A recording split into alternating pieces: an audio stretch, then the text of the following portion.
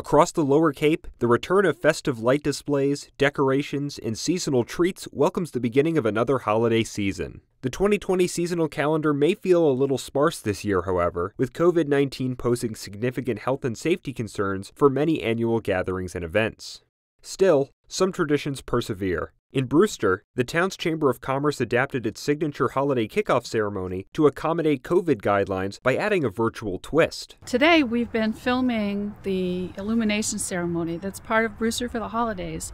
And this year, because of the pandemic, we decided that we could do this virtually instead of having the usual crowd. The Brewster Chamber of Commerce holds the annual illumination ceremony at Drummer Boy Park. Years ago, the ceremony was a modest 20 person event, highlighted by the lighting of a small tree in the park's gazebo. However, that all changed in 2009 when the tree lighting moved from the gazebo to a new tree in the heart of the park that stands in memory of the late Roger Talmadge. The Talmadge family planted the tree with permission from the Brewster Select Board, and it's become the centerpiece of a much larger illumination ceremony. The event has grown significantly since 2009 and now regularly draws hundreds of attendees.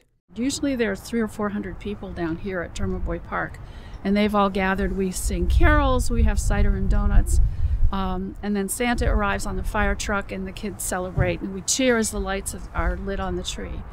This year we just realized that we couldn't do it that way, and, but we still wanted to be able to bring this important event that's part of the holiday season and such a tradition now in Brewster. We still wanted to be able to bring it to the people of the town. The Brewster Chamber of Commerce filmed the 2020 illumination ceremony on November 24th, and the recording will debut December 4th on Lower Cape TV. Viewers can also watch the event online at the Chamber's website throughout the month of December.